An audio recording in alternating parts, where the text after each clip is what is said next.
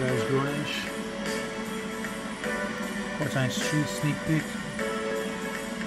The focus is on the demons again. Hmm. Look her walking around right here. Using hand sanitizer right here.